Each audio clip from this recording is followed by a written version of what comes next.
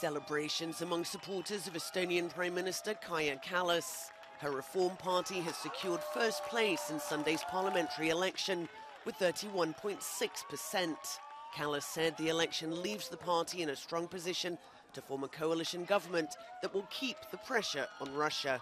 We have to uh, major reforms regarding uh, green transition, for example, but we also have to invest uh, in our security. Our aggressive neighbor has not uh, vanished and will not vanish, so we have to work with that. Kallas had faced a challenge from the far right populist EKRE party, which wants to limit the Baltic nations' exposure to the Ukraine crisis and blames the current government for Estonia's high inflation rate.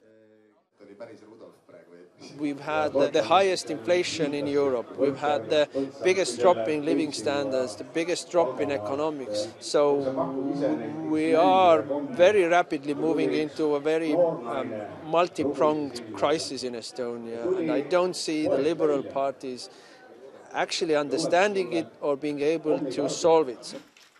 In order to stay in power, Reform will again have to form a coalition with one or more of the parties that entered the Baltic states' 101 seat parliament.